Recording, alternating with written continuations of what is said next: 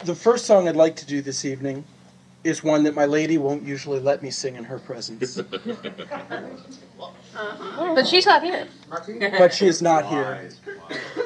We find worthy examples to follow in the praise songs of the Middle Ages and our own current Middle Ages.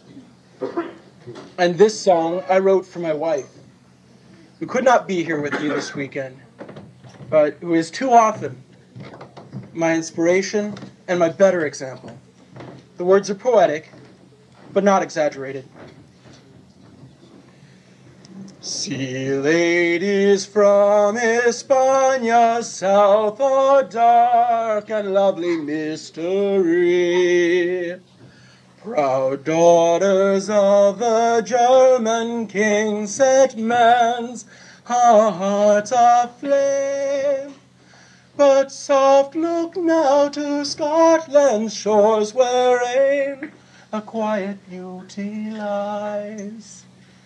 Their flesh and spirit both enmeshed, she soothes the maddest soul.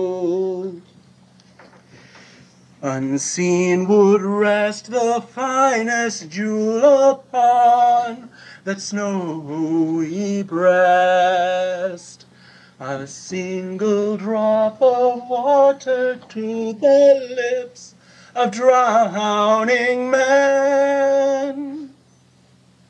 When Margaret Malise smiles down a child's unburdened joy, then Solomon's great song of songs falls short of moment's need.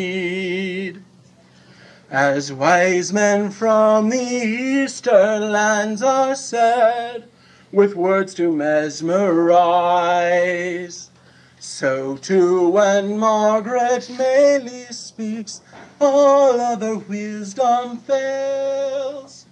As hills which lie at mountains' feet wear shrouds of deepest shade.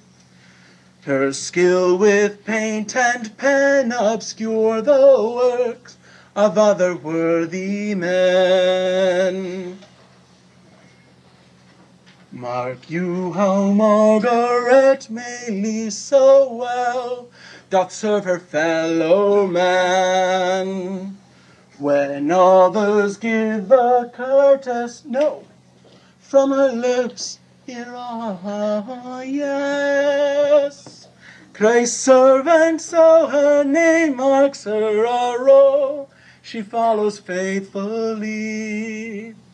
As angel's voice called Joan to war, so Malise is called to peace.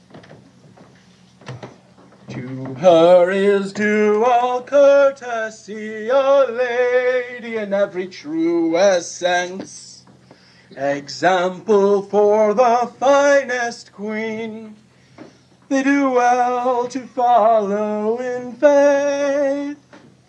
One thing more describes her best of all, true friend to have and hold.